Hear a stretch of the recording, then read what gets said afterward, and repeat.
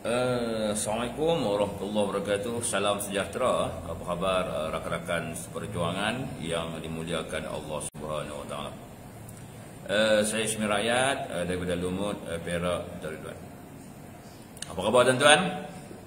Uh, doa saya Semoga saudara sentiasa Dalam perlindungan Allah subhanahu wa ta'ala longgak mas Tian eh. And Ah, khabar tuan-tuan ah, sihat semua? Ya, manja. Waalaikumsalam.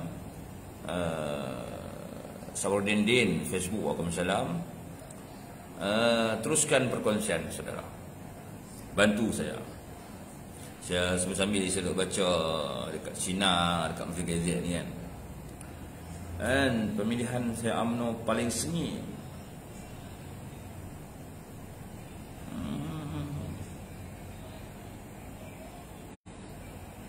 banyak berita ni berita politik lah.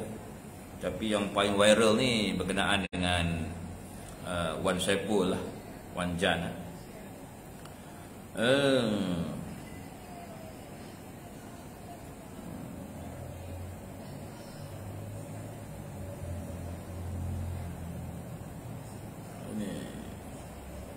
Wan Saipul rela lepas jawatan ha, Lepas jawatan ketua terangan kan Tak boleh ulas kan saya kita cek-cek dulu.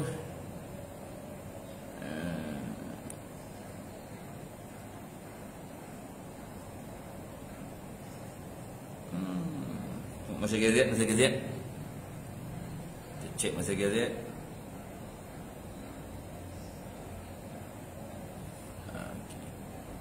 Ah, manja 546 Topik dia santai yang ni kan? Terlihat saat sementara view nak naik Jalan Merah Bates Muhammad Danis Jang Matang Pasyak Waalaikumsalam. Erwan Jali Waalaikumsalam. Mak Syarin. Uh, ni. Tengok saya Allah. Ni dekat Malaysia Gazette eh? ha, Tuan-tuan kau dengar betul uh, Calon naik uh, Ketua Pemuda UMNO Malaysia Saudara Datuk Nazifuddin Najib sedang ke udara live di medium Malaysia Gazette nah. Ha, nampak ni. Betul dia. Ah. Beliau menawarkan diri sebagai calon naik ketua Pemuda UMNO Malaysia. Saudara Nazifuddin ni saya kenal. Ha, kenal lama lah. Beliau memang uh, pemimpin yang hebat bagi saya lah kan. Dan bila beliau memberitahu nak mencalonkan diri sebagai calon uh, ketua pemuda UMNO Malaysia saya sokong lah. Saya sokong lah. Sokong 100% lah. Saya harap para perwakilan pemuda berilah peluang dan ruang kepada Datuk Nazifuddin Najib untuk mencapai kemenangan uh, di pemilihan akan datang lah. Akan datang lah. And uh, calon ketua muda mula-mula saya ingatkan uh, Datuk Asmuni Hasan akan bertanding. Rupanya tidak. Kan? Yang tengok tu Dr. Akmal yang bertanding. Uh, Dr. Akmal pun uh, saya kenal. Beliau pun seorang pimpin muda yang matang. Berpendidikan tinggi uh, dan YB. Uh, Malaysia Esko uh, di kerajaan negeri Melaka lah. Kan? Terbaik lah, terbaik kan. Uh, sekejap tuan uh. Saya baca sikit-sikit dulu ni. Ha, Tom M. Tom M ni timbul tiba-tiba kan. Uh, seminggu dua ni terdampak Tun Mahathir lah. Tun Mahathir ni macam dia saya pun tak tahulah kenapa Tun Mahathir tak boleh move on lah. And dia kata orang suruh dia diam. Memang uh, banyak orang minta Tun Mahathir berehat. And biarlah uh, kerosakan yang beliau buat uh, bersama Muhyiddin Bersatu ni kita yang perbaiki. Ha, Tun Mahdi ni dia asyik bercakap soal kenapa Melayu berpecah belah. Ha? Kenapa pemimpin Melayu banyak buat parti Melayu. Tapi realiti sebenarnya Muhammad Syarif kan. Ya ya saya bertanding naik uh, ketua bahagian UMNO Lemut kan. Betul tu. Ha. Tapi kalau kita fikir tengok yang asyik tubuh parti, tubuh parti, tubuh parti ni semuanya Tun Mahathir kan dan orang-orang dia. Kan yang tubuhkan uh, bersatu Tun Mahathir. Yang tubuhkan pejuang Tun Mahathir. Yang tubuhkan Pakatan Harapan Tun Mahathir. Yang tubuhkan Perikatan Nasional orang kanan Tun Mahathir. Yang tubuhkan uh, gerakan tanah air Tun Mahathir. Jadi sebenarnya dialah punca kepada perpecahan orang-orang Melayu. Kan? Tapi hingga ke saat ni dia tak pernah mengaku yang dia ni bapa pecah belah undi orang Melayu. Kan? Apa yang dia buat hari ni lebih kepada kepentingan politiknya. Dulu pun sama lah. Dia tubuhkan bersatu demi kepentingan politik dia. Dia tubuhkan Pakatan Harapan demi kepentingan politik dia. Dia tubuhkan gerakan tanah air Perikatan Nasional pun demi kepentingan politik dia. Dulu demokrasi kita subuh. Dulu tak ada amalan-amalan lompat parti ni. Yang mengamalkan amalan lompat parti ni, yang menghalalkan agenda lompat parti ni Mahathir sendiri. Kan? Hello, Assalamualaikum bang. Belum belum awal depa tengok pukul 10 lebih. Tomo, Tomo tak call ni nak urut belakang eh. Nanti abang dah berkata Tomo dah. Ah dia duduk dia duduk tak boleh kerja tu. Terus ngau itu. Ah kita bang. Tak ada tak ada lagi. Lewat sikit. Ah okey bang. Okey bang. Okey bang. Okey bang. Apa salah bang?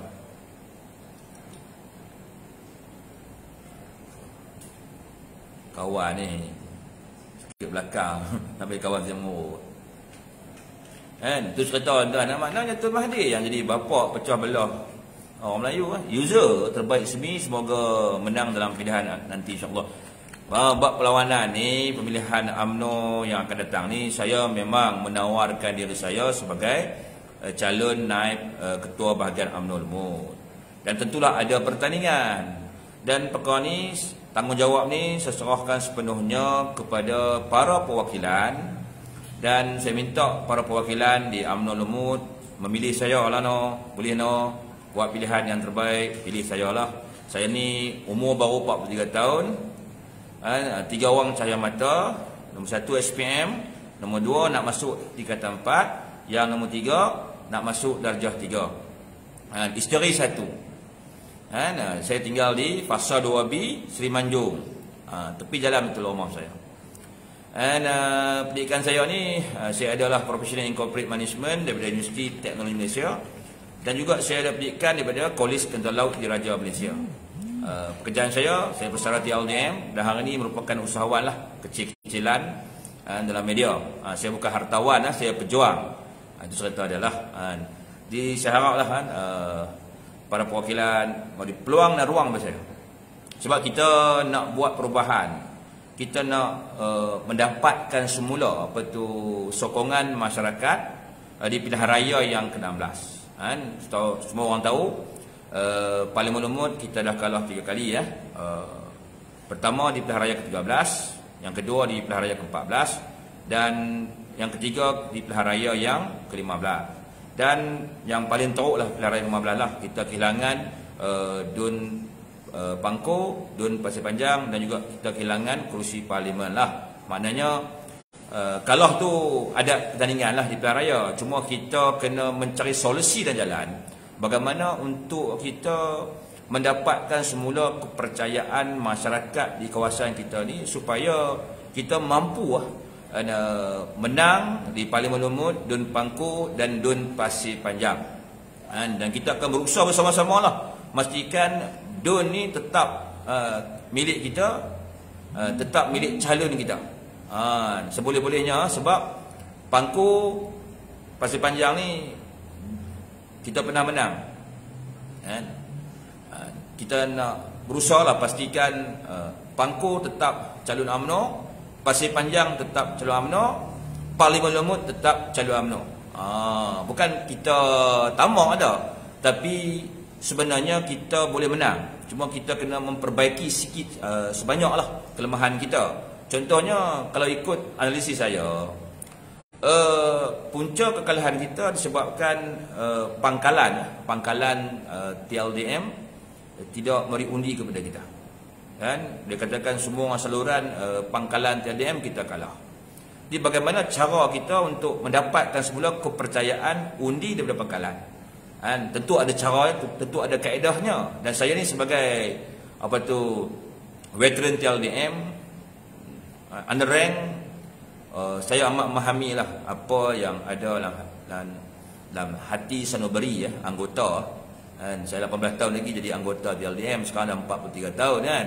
Jadi kita tahulah sikit sebanyak selok belok tentang uh, permasalahan anggota ni dan kita tahulah bagaimana cara untuk kita Uh, mengambil hati dan meyakinkan semula anggota-anggota tentara laut untuk kembali menyokong kita di pilihan raya yang ke-16.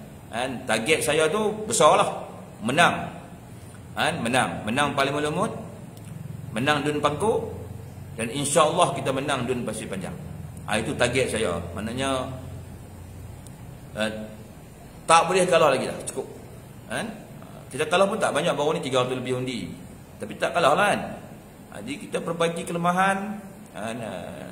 Kita bawa politik yang matang. Politik yang meyakinkan masyarakat. Dan insya Allah saya percaya uh, masyarakat pengundi di Parlimen Lumut akan memberi kepercayaan kepada UMNO Barisan Nasional di pilihan raya yang ke-16. Kan? Kira? Sama-sama kita berjuanglah. Ha? Sama-sama kita berjuanglah kan uh, benda ni satu perkara yang rumit sebenarnya dan kita perlu bekerja secara berpasukan kan menggarap nilai-nilai murni untuk kita mencipta kemenangan bukan mencipta keajaiban mencipta kemenangan. Bagi saya dalam politik ini tak ada keajaiban. Kan keajaiban tak wujud dalam politik bagi saya. Kan setiap kejayaan mesti dengan usaha. Uh, lebih kurang macam itulah Okey tuan ah.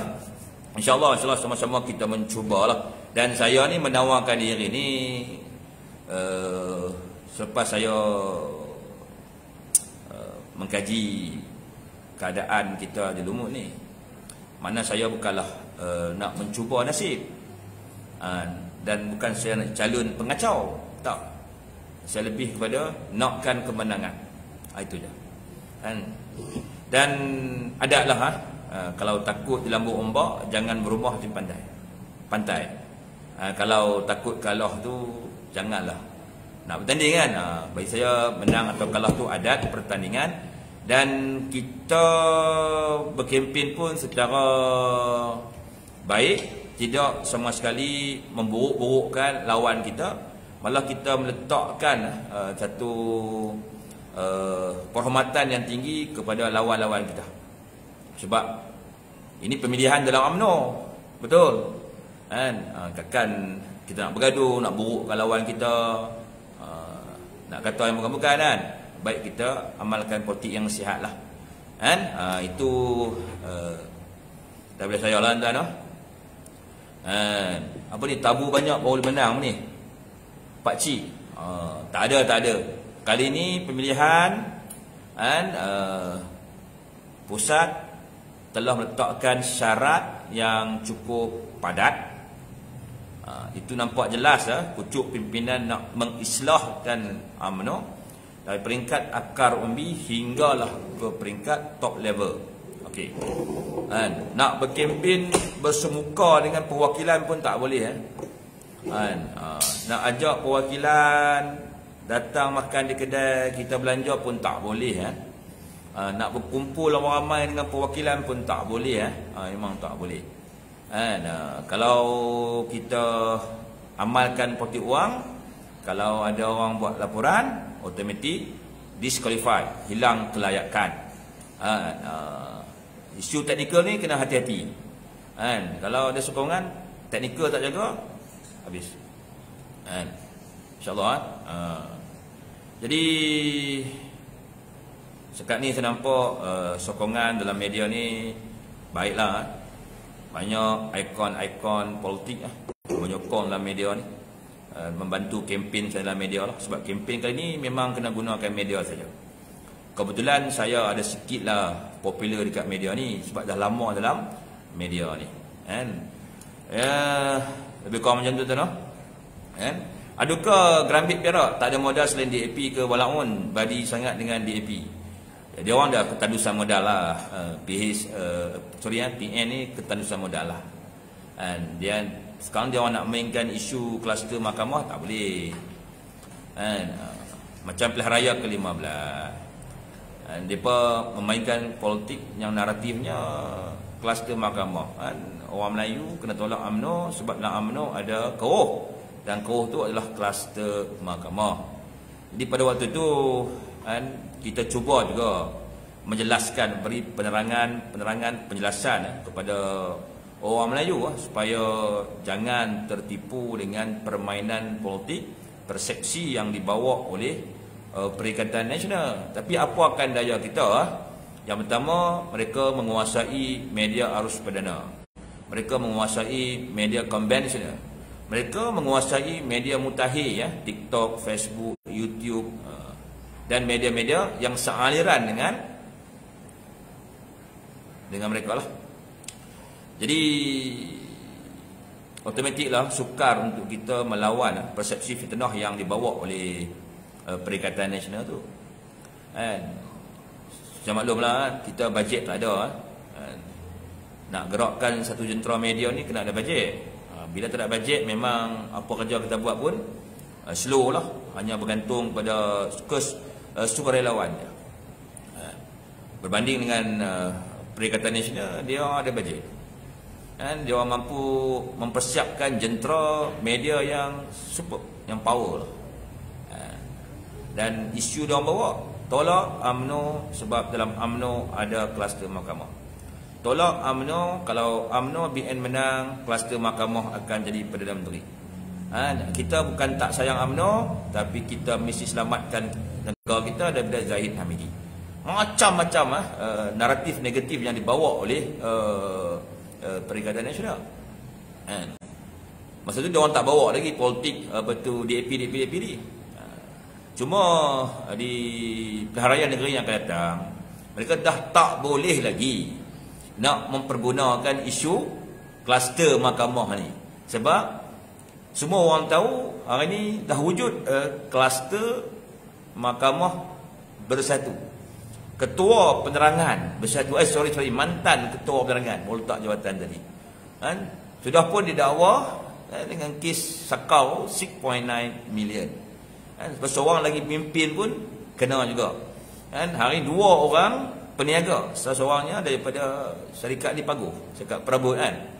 Dan banyak lagi kan? Kalau ikut maklumat-maklumat uh, yang saya dapat uh, ramai lagi pemimpin uh, lawan akan dakwa atas kesalahan yang hampir sama. Itu berkenaan dengan sasa sakau ni lah. Muka salam tuan Anwar Mahmud. Kan tidak.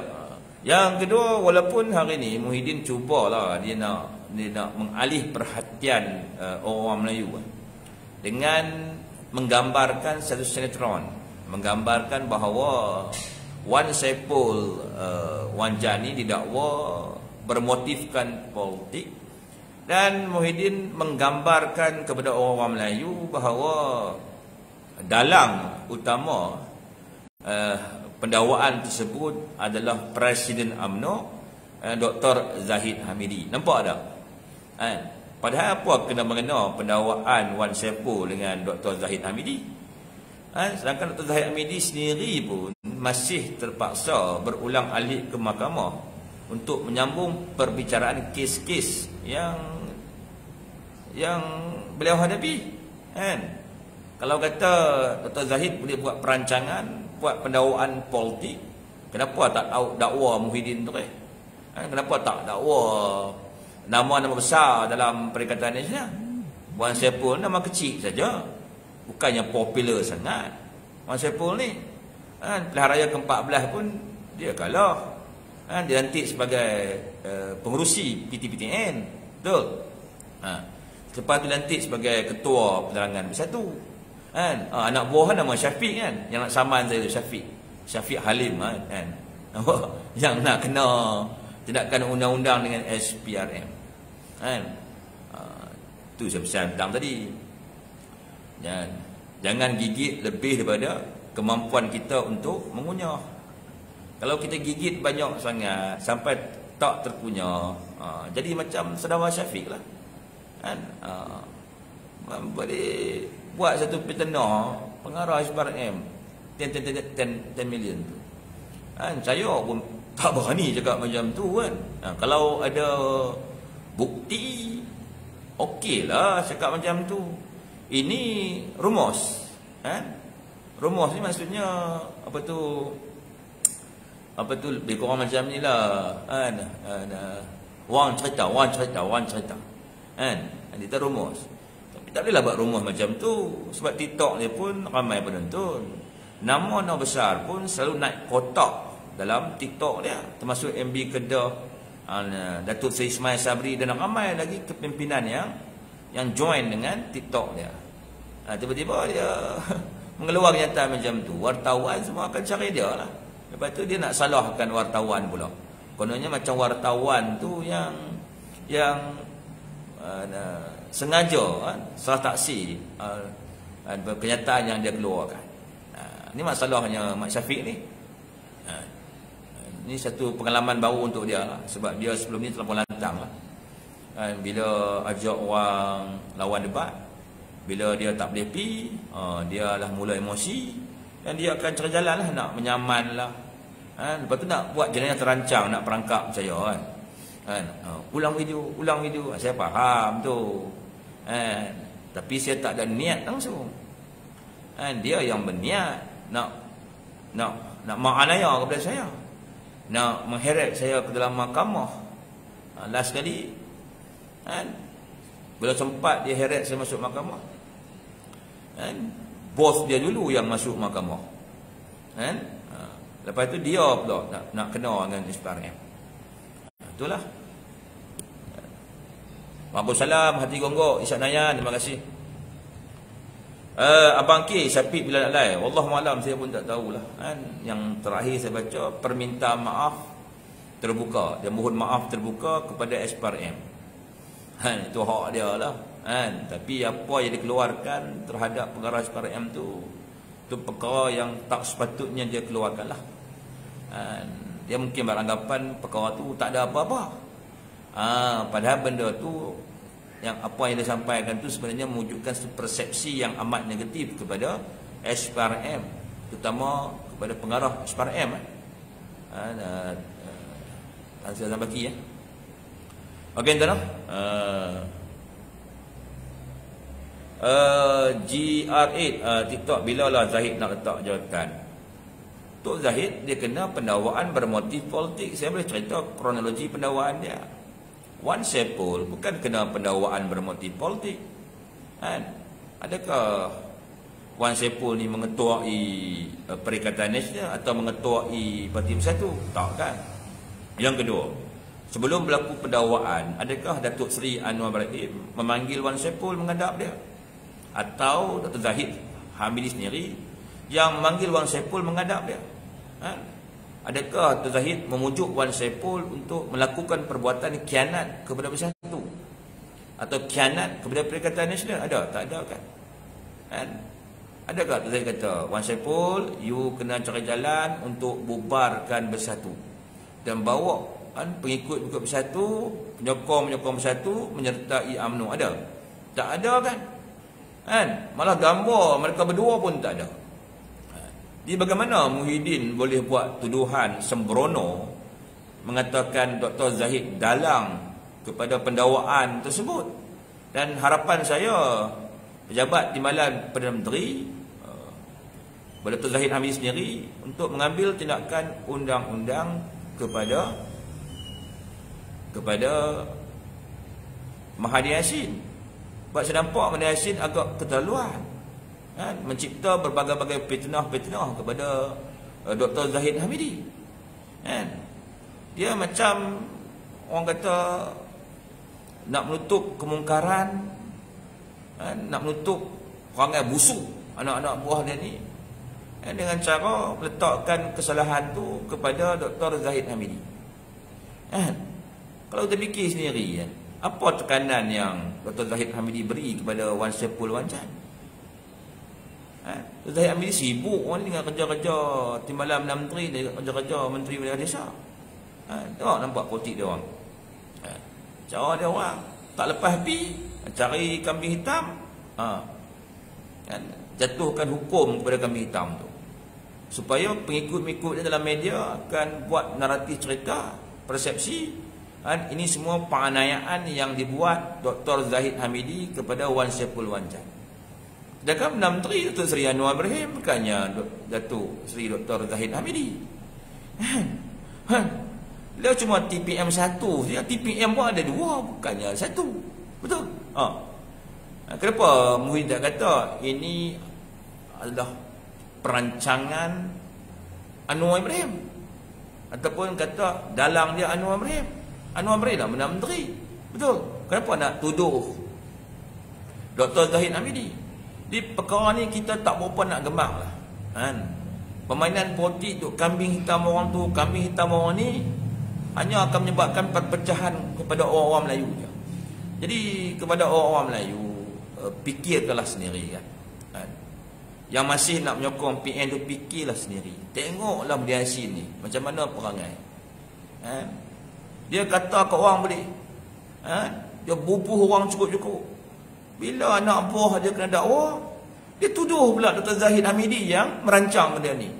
Merancang kot mana? Kalau Dr. Zahid Hamidi boleh merancang perkara ni, tentu dia tak perlulah nak berulang alik ke mahkamah. Tentu kesnya digugurkan oleh peguam negara.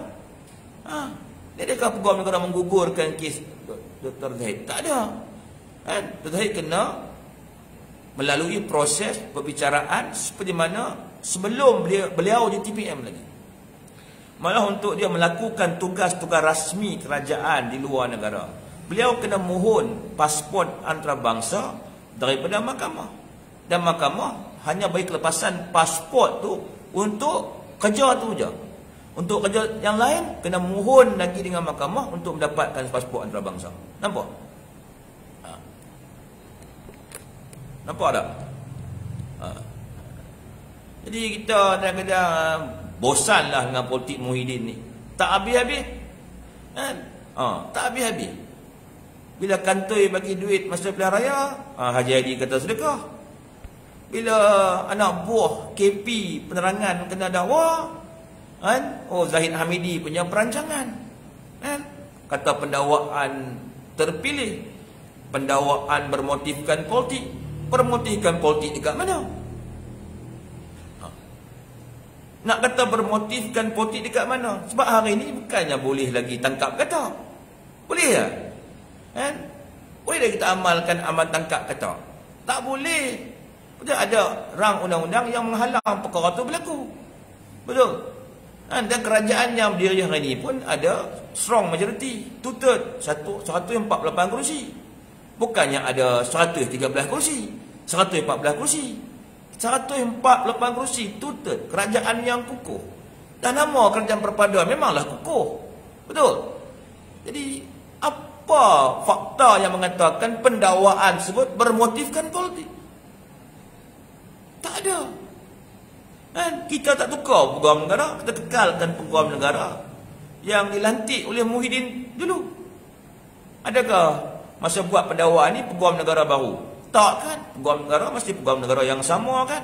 Hakim-hakim masih hakim-hakim yang sama kan? Pengarah SPRM, pengarah SPRM yang sama kan? Tak ada apa-apa perubahan yang besar pun. Ya, bagaimana Muhyiddin boleh menuduh Terzahid merancang perkara ini?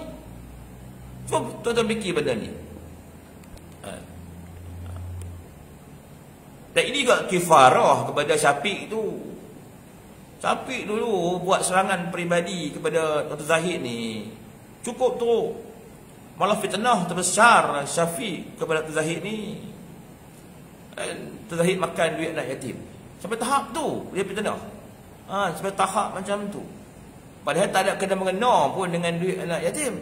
Kan single sin pun tak ada. Ha, tapi dia orang sanggup buat apa saja untuk memburuk-burukkan Presiden UMNO pada waktu itu untuk bertujuan tu meraih undi orang Melayu kepada parti bersatu perikatan nasional. Okey, bersambung baik tentang PRN ni. Agak-agak perikatan nasional akan guna modal apa? ah, tolak UMNO sebab DAP. Tak tengok nanti. Dan bila rakyat membangkitkan isu pendakwaan yang berlaku kepada Wan Sepul, Muhyiddin kata inilah penganiayaan politik, pendakwaan terpilih bermotifkan politik dan yang direncanakan oleh Zahid Hamidi. Tuan tengok nanti. Dia akan canang benda ni pagi, petang, malam. Pagi, petang, malam. Kan? Jentera-jentera media mereka akan bawa naratif yang sama juga. Kan? Ha, Wan Sepo dianaya. Tengok Wan Sepo bertanggungjawab. Sanggup melepaskan jawatan ketua penerangan. Oh, macam-macam lah. Padahal mereka dah terdesak. Mereka tak tahu nak buat macam mana untuk menutup perkara ni. Dan mereka saya tahu berada dalam keadaan ketakutan. Sebab dikabarkan lebih ramai lagi akan dipanggil SPRM. Bukan sebagai saksi. Tapi sebagai suspek. Termasuk Mahdi Yassin bau-bau ni. Depan media, dia kata dia dipanggil sebagai saksi. Tapi kita baca dalam berita, dia bukan dipanggil sebagai saksi. Tetapi sebagai suspek. Suspek ni maknanya OYDS Orang yang disyaki Belum jadi orang kena tuduh Macam Wan Sepul Dah jadi orang kena tuduh Contoh ada ha. Ha. Dan sebenarnya rakyat pun bukan terkejut sangat pun kan?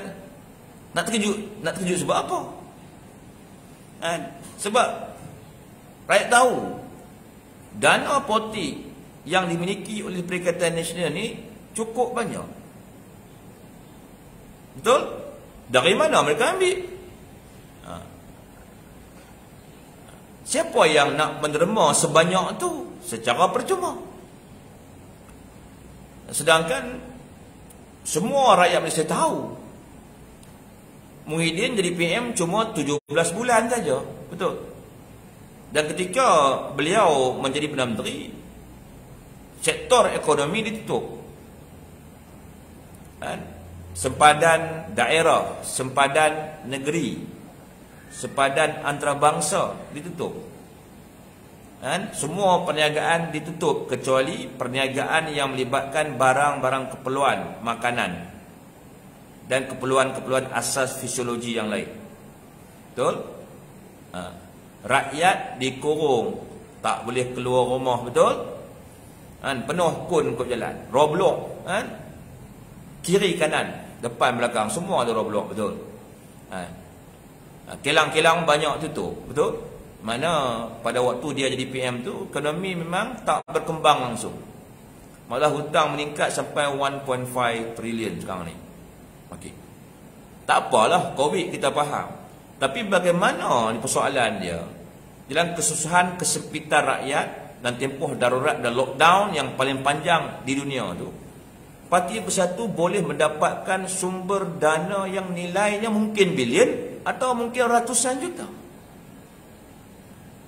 Sedangkan UMNO tak ada apa ratusan juta macam tu kan Datuk Seri Ismail Sabri jadi PM juga 13 bulan kan sepadan daerah dibuka, sepadan negeri dibuka, sepadan antarabangsa dibuka, sektor ekonomi dibuka, rakyat kan dibenarkan bekerja sebagainya. Tak ada pun UMNO boleh kumpul sampai beratus-ratus juta seperti mana Muhyiddin kumpul.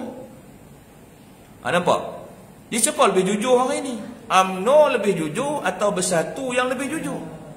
Itu persoalan dia. Ha. Dan tuan-tuan sama-sama tunggu dan lihat. Sama ada PAS akan meninggalkan bersatu ataupun tidak. Sebab dulu PAS meninggalkan AMNO, alasan Tuan Guru Haji Ali, dalam AMNO ada keruh. Dan keruh tu maksudnya ada pemimpin AMNO didakwa di mahkamah. Kan? Sebab tu PAS tak boleh menjalankan kerjasama dengan AMNO. Dan PAS memilih bersatu. Pada bersatu, tak ada kluster mahkamah. Dan sekarang bila bersatu ada kluster mahkamah, adakah PAS akan menggunakan hujah yang sama dan meninggalkan bersatu selepas ni? Ini persoalan yang menjadi tanda tanya seluruh umat Melayu.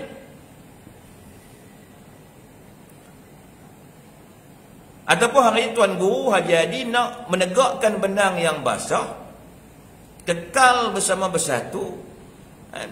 Dan menghalalkan kan, perkara yang songsang ini dengan perkataan-perkataan yang sedap. Sedekah ke apa ke.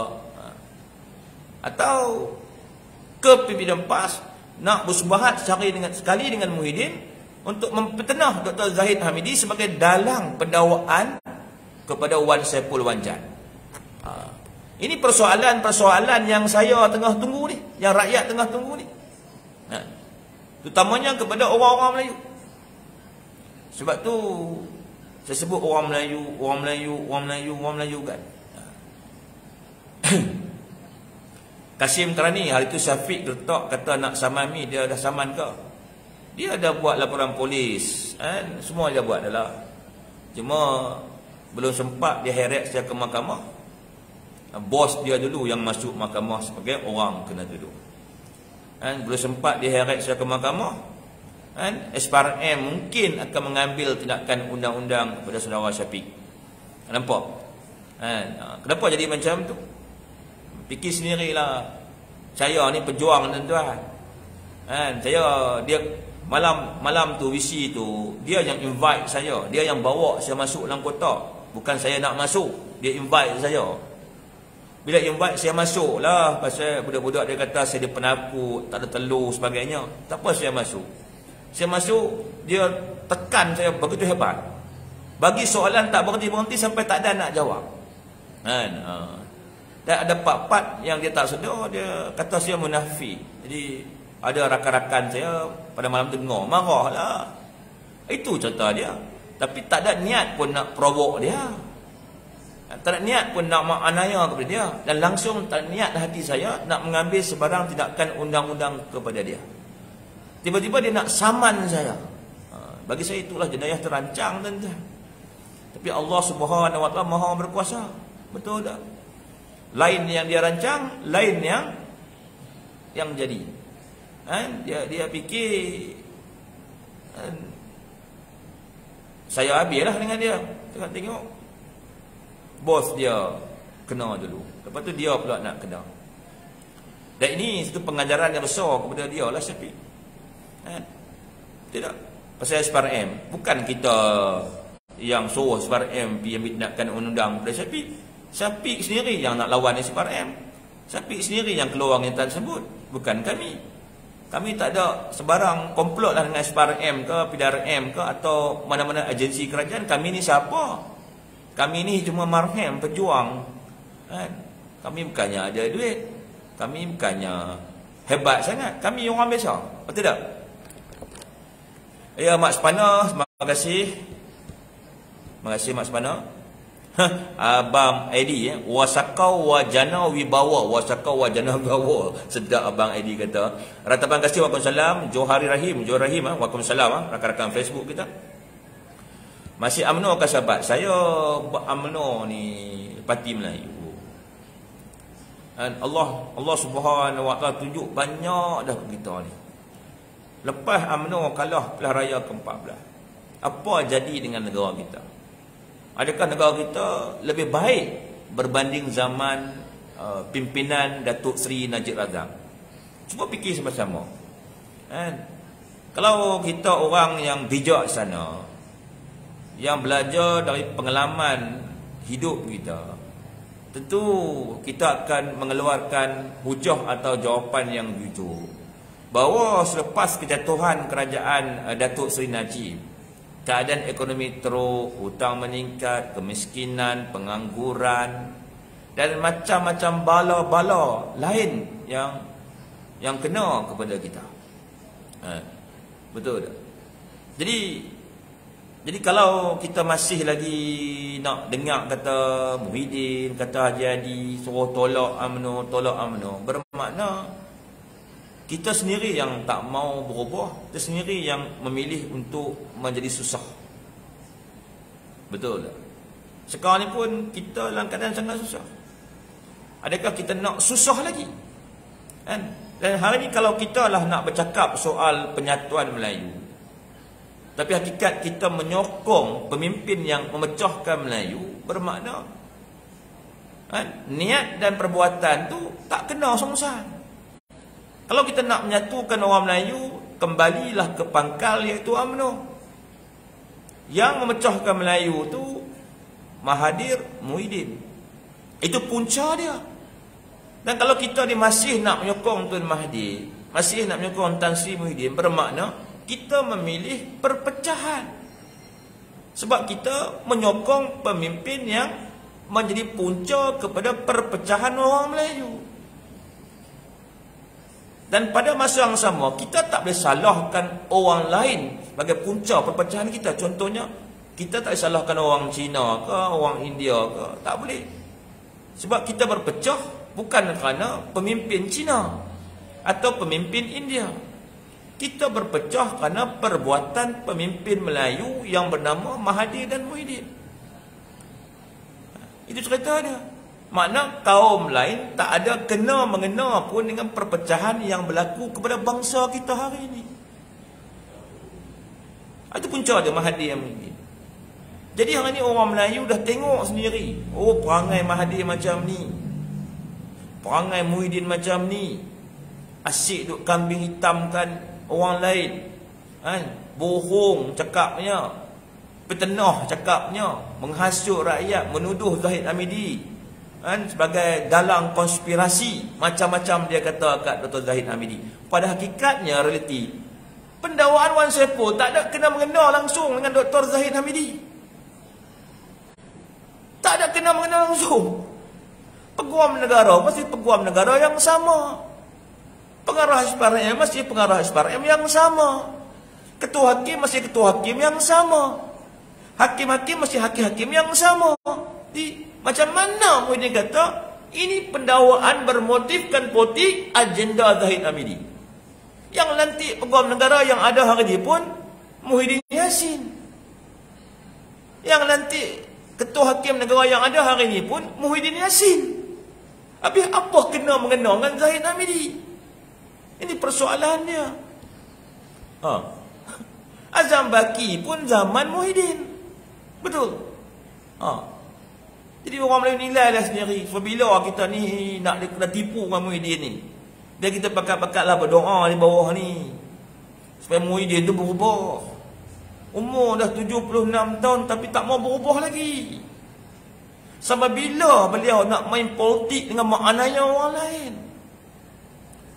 Eh? Sampai bila? Nak jadi Tuan Mahdi? Dari muda sampailah 98 tahun kerjanya. Duk penanya orang. Tuduh orang tu curi, tuduh orang ni samun, tuduh orang ni rompak. Macamlah diri diri diri sendiri bersih sangat. Macam anak-anak buah dia dulu bersih sangat. Macam ni tenen dia tu. Ha, apa nama Daim Zainuddin tu. Ha, yang bakal dipanggil SPRM bagi kes ha, mengikut laporan Pandora Papers tu. Ha, yang ada bank berlambak-lambak di luar negara tu. Ha, tak lama kena panggil lah. Dan Tun Dain tidak Irdis Harun eh, Midin nak ganti Mahdi. Dia nak ganti Mahdi untuk apa? Kita tak kita tak nak pemimpin yang macam tu. Kan? Pemimpin yang nak kejar piala. Pemimpin yang gila jawatan pemimpin yang meletakkan kepentingan diri di atas sekali kan ekonomi jatuh pun tak apa yang penting aku boleh jadi PM kan? Orang Melayu berpecah belah tak apa Yang penting aku boleh jadi PM Tangkap kata rasuah politik tak apa Yang penting aku boleh jadi PM kan? Mahalakan rasuah dengan sedekah tak apa Yang penting aku boleh jadi PM kan? Letakkan kesalahan sendiri Dengan menentukan hukuman kepada orang lain Pun tak apa Yang penting Orang Melayu nampak aku baik dan bersih kan? Tinggal UMNO dapat pahala Tinggal barisan dapat eh, tinggal amno dapat pahala dia kata dulu tinggal barisan satu ibadah tak apa eh? berfikir tengok eh. jadi kita orang-orang Melayu jangan kena tipu lah dengan orang ni cukup-cukup lah eh? Dia orang ni depan orang Melayu ni Allah. Alim. Cukup alim. Ya semut pun tak mati kan. Naik pentas pun tertib je. dapat mic biasalah. Kan? Oh menggambarkan diri mereka dan rakan-rakan mereka yang lain tu sebagai pemimpin akhir zaman. Pemimpin yang bersih pemimpin yang berintegriti kan pemimpin yang wibawa yang patut dijana kan betul tapi di belakang rakyat inilah yang mereka buat kan okey tuan uh, banyak komen ni ya. TikTok ni saya boleh baca lah pelan-pelan sikit lah. Citra Gemilang kalau yang cerdik. Saya tak pernah kata saya cerdik pun. Tapi saya ni ada pendirian, ada prinsip. Dan kita ni tak sanggup lah. Dan nak berlakon depan rakyat. Kan? Belakang rakyat kita sakau. Lepas kita sakau, kantoi, kita tukar hukum pula. Ha, ini adalah kerja Zahid Hamidi. Zahid Hamidi yang buat pendakwaan terpilih kepada saya. Sedangkan pengarah SPRM zaman Muhyiddin. Peguam negara lantikan zaman Muhyiddin.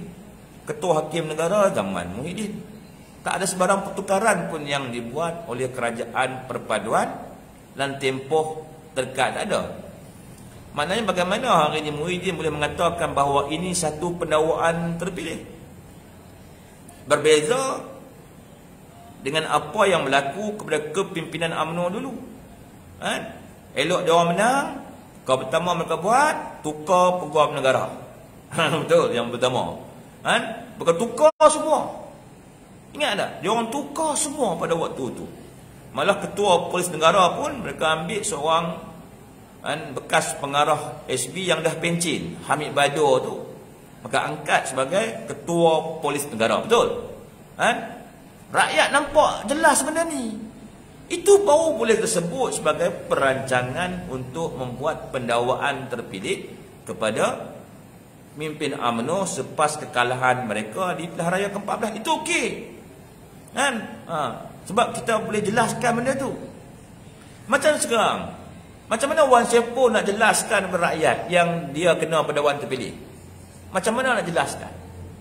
Macam mana Muhyiddin kan, nak bagi justifikasi bahawa ini adalah perancangan Zahid Hamidi? Tak boleh. Nanti orang Melayu tanya, peguam negara siapa ya? Tan Sri? Kan? Diam Tan Sri. Ketua Hakim siapa Tan Sri? Diam Tan Sri. Pengarah SPRM siapa Tan Sri? Diam Tan Sri. Kan? Semua zaman Tan Sri lah. Macam mana Tan Sri nak jawab? Itu tuduhan Muhyiddin mengatakan dalam pendakwaan tersebut adalah Zahid Amin tuduhan yang liar. Ha? The great liar.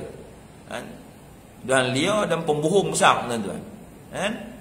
Ibaratnya nak buh tai atas Dr. Zahid. Nak buh tai atas UMNO. Sebab tu kita rasa tak puas hati dalam hal tuduhan tersebut. Okey tuan-tuan. Ha? Komen dekat TikTok ni kecil-kecil je. Esok, esok lah saya buat spek baru lah. Tambah, tambah power. Ha, power kurang kan. Uh, nak baca komen tu susah. Kan? Uh, mata ni uh, penting. Kalau mata kita kacau. Uh, kita jadi macam tak berapa nak selesa baca komen kadang-kadang laju kan kadang-kadang tu lambat kan ha mata ni mata ni okey tuan ha. Waalaikumsalam Kak Rusni Koronggot Ada persoalan tuan? Abang Edi Duit negara dia orang sakau Rakyat paksa keluar KBSP Memanglah Okey berkenaan KBSP tu Cadangan tu bukan datang daripada Muhyiddin bukan datang daripada Wan Saipul atau mana-mana kepimpinan yang berada dalam Perikatan Nasional. Dan idea cadangan pengeluaran KBSP ni datangnya daripada bosku. Dan Dr. Zahir, Dr. Asraw Wajidi dan keseluruhan kepimpinan UMNO yang didokong oleh orang-orang macam saya ni. Sampai pada waktu tu punyalah kita berjuang untuk BSP ni sampai ketua pemuda PAH hari ini ni. Kan? Dia nak ambil tindakan undang-undang kat saya tak? Kan? Sebab saya kritik kenyataan beliau dalam parlimen Hikayat Putri Gunung kan dia kan ambil posting saya tu letak dekat page dia kan ha, dia ambil tindakan undang-undang kat saya tu. Tapi pada waktu saya tak heran lah dia nak ambil tindakan undang-undang ke dia nak buat apa dia buat lah. Yang penting saya bersyukur kerana berpeluang untuk berjuang demi rakyat. Kan dapat menolong rakyat-rakyat kita yang susah pada waktu tu. Dengan mempermudahkan cara pengeluaran KWSP itu cerita dia. Kan? Malah tuan ingat tak? Ketika uh, bajet uh, zaman mula dibentangkan, Barisan Nasional meletakkan syarat. Betul tak? Syarat pertama, pengeluaran KWSP. Syarat kedua, tentang soal moratorium. Betul? Betul tak? Ha. Betul tak? Ha. Dan sekarang ni pun, kita kami ni orang menur ni, tetap bersama rakyat ha, memperjuangkan isu KWSP. Ha, cuma cuma tuan-tuan kena fahamlah kita bukan yang Perdana Menteri. Dulu pun bukan kita Perdana Menteri, sekarang pun bukan kita Perdana Menteri. Jadi kita dah usah sedaya upaya kita mendesak kerajaan untuk membenarkan pengeluaran KWSP kepada rakyat. Kalau boleh pengeluaran KWSP bersasar. Ha, cuma keputusan akhirnya Perdana Menteri Ha, itu cerita dia. Kan? Cuma tak apalah kalau kata hari ni uh, pihak kerajaan uh, tidak mau meluluskan pengeluaran KBSP. Pihak kerajaan kena bagilah solusi bagaimana untuk menyelesaikan masalah rakyat ni. Solusi, solusi, jalan penyelesaian dia. Ha, bila kita benarkan pengeluaran, kita mesti ada jalan penyelesaian untuk rakyat. Solusi dia. Kalau kita tak benarkan, kita tak bagi solusi, tentu otomatik rakyat akan marah kepada kerajaan. Dan apa yang kita usahakan hari ini untuk mengelakkan kemarahan rakyat pada kerajaan atas isu KWSP. Tidak. Isu ni isu yang sensitif tuan-tuan. Sebab Kumpulan rakyat yang memohon pengeluaran KWSP lah kumpulan yang pada hari ini dalam keadaan ekonomi dia teruk. Kan? Ekonomi teruk, hutang dia banyak. Kan? Dia tak ada duit untuk memenuhi keperluan-keperluan hidup dia pada waktu ini. Ha? Dan punca kesal rakyat disebabkan oleh wabak COVID dan juga tata kelola yang teruk di bawah pimpinan kerajaan Mahathir Yassin eh, selama 17 bulan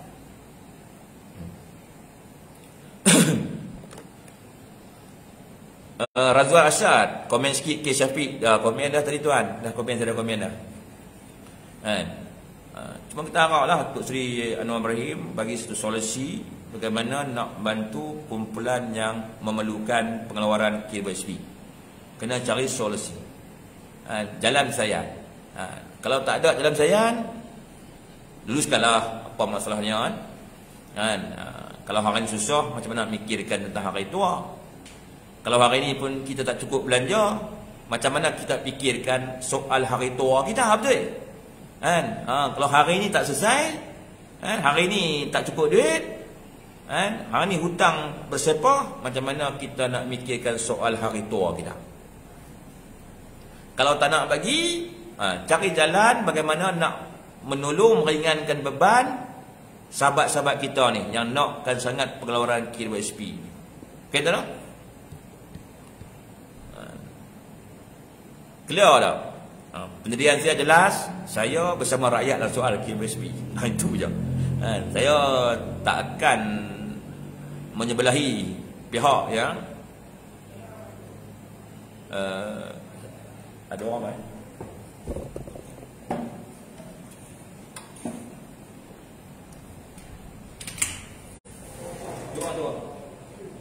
Oh, betul. Tak ada. Tak ada orang.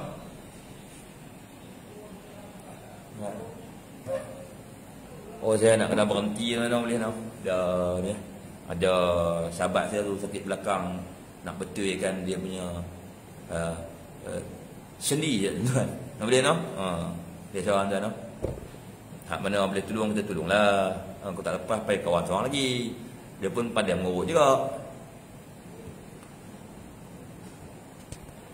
uh, Hasan Kasim setuju cadangan yang baik yalah yalah ha, terima kasih lah terima kasih ha, kita ulang balik.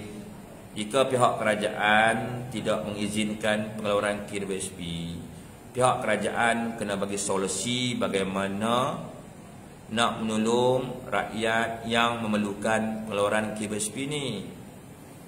Dan kalau kita tak bagi kita kita tak bagi keluar tapi kita tak bagi solusi penyelesaian maknanya rakyat akan marah kepada kerajaan. Kita tak nak rakyat tu marah kepada kerajaan. Kan? Zaman sekarang ni zaman media. Betul. Kan? Kalau rakyat dah mula marah kita atas isu KBSP ni, tak syok lah, tak cantik lah. Kerajaan ni masih baru. Kan? Baru satu hari lebih. Betul tak? Orang kata kerajaan yang mudah. Di kerajaan yang muda ni kerajaan yang mesti benar-benar menjaga hati rakyat. Kalau tak bagi, ha, tolong bagi solusi penyelesaian. Ha, kalau tak ada solusi penyelesaian, tolong bagi. Tak apa bagi je. Ha, bagilah apa. Yang penting rakyat tak marah kepada kita. Ha, kita pun tak syok kalau rakyat marah kepada kita. Saya ni kadang-kadang tak larat nak angkat telefon tuan Banyak orang telefon isu KBSP ni. Kan? Saya kata kat kawan-kawannya ni, pendirian saya tetap macam dulu. Saya menyokong pengeluaran KBSP dan saya akan sampaikan dalam live saya. Saya sampaikan berhari-hari sampai tidak. Kan? Rakyat ni kita Bukanlah kita nak membanjai rakyat. Tak. Tapi soal duit KBSP ni, duit rakyat sendiri. Bukannya dia minta uh, kerajaan uh, bagi dana negara kepada mereka. Ada. Uh, mereka nak keluarkan simpanan mereka sendiri dalam KWSP. Duit titik peluh mereka. Kan? Uh, time ni dia orang susah. Dia orang nak pakai duit kan orang tengah susah ni kan kau faham lah siapa nak bagi pinjam duit betul bank mana nak bagi pinjam duit kalau kita tak ada kemampuan hmm? bank mana nak bagi? Alung pun tak bagi kita pinjam duit. Kalau kita tak ada kemampuan nak bayar balik hutang tu alung sendiri. Kan? Betul? Ha. Kan? Tak ada institusi uh, perbankan yang akan berikan pinjaman kepada rakyat orang yang tak ada kemampuan nak bayar balik. Betul? Kan? Contoh kita nak beli rumah. Kita tak ada rumah kan? Kita pergi bank kita kata kita nak beli rumah. Kan? Tapi bank cek tak ada kemampuan. Loan kita lu tak lu tak lu betul? Ha. Di kumpulan ni dia nak minta tolong kat siapa hari ni? Ha. Kan? dan kita boleh sebenarnya kita bersyukur tau. Rakyat kita ni betul baik tau. Kan? Dia cuma minta keluarkan duit KBSP. Makna rakyat kita pun faham ekonomi teruk, kerajaan tak ada duit, hutang 1.5 trilion. Kan? Kan menteri-menteri pun potong gaji, menteri pun tak ambil gaji. Rakyat dia faham. Dia faham benda ni. Tak cerita pun dia dah faham benda-benda ni. Sebab tu rakyat cuma minta pengeluaran KWSP. Jadi apa salahnya hari ini kerajaan mempertimbangkan perkara ini sebaik mungkin. Kalau kerajaan tak ada solusi nak membantu, kerajaan beritahu kami mengizinkan pengeluaran KBSP eh, dan kita harap inilah pengeluaran terakhir yang kerajaan boleh beri. Contoh-contoh. Tapi kalau ada solusi, bagi tahu rakyat apa solusi dia? Ha, nak bagi apa tu duit percuma ke? eh, nak bagi bantuan apa-apa ke ah, okey bagi tahu kalau tak bagi tahu dia akan jadi persoalan dan tanda tanya kepada rakyat ha, ha, makin hari makin marah kita. Makin hari dari sayang mula benci. Betul? Ha, dari dari dari benci mula emosi. Lama kelamaan orang tolak kita pasal isu KWSP ya tuan-tuan. Ha.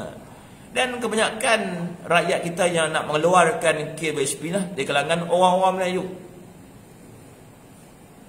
Ha, Kebanyakan dia orang-orang Melayu. Mana keadaan ekonomi orang Melayu pada waktu ni amat teruk. Kerajaan pertimbang kalau no.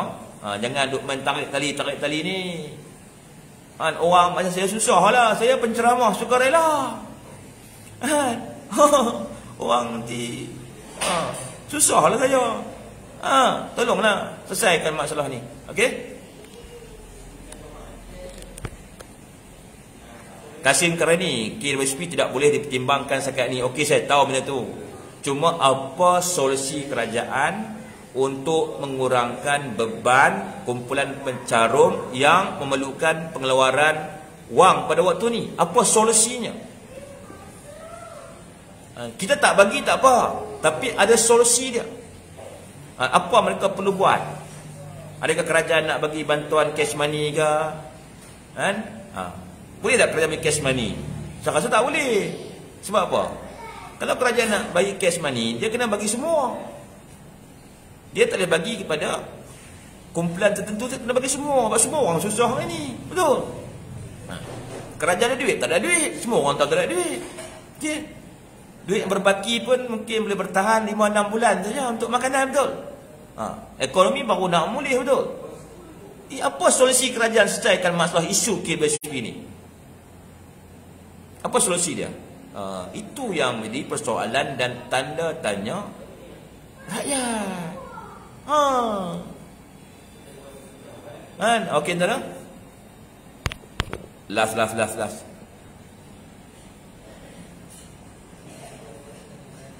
Mak, jangan bergantung pada demokrasi dari British. Kita bukan mengamalkan demokrasi British pun. Kita mengamalkan demokrasi yang diamalkan oleh dunia oleh hari ini. Dalam hari zaman demokrasi demokrasi lah. Kan? Ha, tapi kita amalkan amalan apa? Selain demokrasi. Ha. Hari dunia mengamalkan demokrasi, betul? Jadi negara-negara dunia mengamalkan demokrasi. Kan? Kita pun amalkan demokrasi tapi kita masih ada yang di Pertuan Agong sebagai ketua negara, Raja-Raja Melayu sebagai ketua negara, betul? Ha, makna demokrasi kita demokrasi yang cantik. Ha, kalau demokrasi gagal, kita masih ada sistem beraja lagi. Macam pilihan raya ke-15. Sistem demokrasi gagal kan? Gagal kan? Dan yang mana peti undi gagal untuk membentuk kerajaan kan? 82, 30, Tujuh empat kan? Dua-dua betul? Tak ada mana-mana gabungan Yang boleh bentuk kerajaan. Makna Demokrasi gagal Di pilihan raya ke-15 Bila demokrasi gagal Siapa yang menyelesaikan masalah tu? Kan? Sistem beraja kita yang Menyelesaikan masalah tersebut. Ha, Ni Maknanya Malaysia ni Antara negara yang terbaik lah Kalau negara-negara lain Kalau demokrasi dia gagal boleh perang tuan ha, boleh perang macam di Somalia. Kan? Itu negara yang aman. Tapi kerana demokrasi gagal menyebabkan perang saudara yang berpanjangan dan kesannya hingga kesan ini kita tuan-tuan kesan dia. Tapi di Malaysia tak jadi macam tu. Ha? tak ada mana-mana pihak yang boleh claim dia Perdana Menteri pada waktu itu kan? Yang boleh mengiktiraf seorang menteri hanya Seri Paduka Baginda Pertuan Agong. Ha, makna Seri Paduka kita ni adalah tonggak negara yang disebut sebagai ketua negara. Perdana Menteri itu disebut sebagai ketua kerajaan. Okey tuan-tuan, ha? saya ada sahabat saya nak nak nak berubat. Di kita sambung uh, esok no. Dan tuan, ha? teruskan perjuangan. Jangan putus asa. Kan? Jangan menyerah kalah kan kita usaha bersama-sama untuk menyatukan orang Melayu. Boleh no? Boleh no? Okey, masih wallahu a'lam bissawab. Wabillahi taufiq wa hidayah. Wassalamualaikum warahmatullahi wabarakatuh. Masih tuan.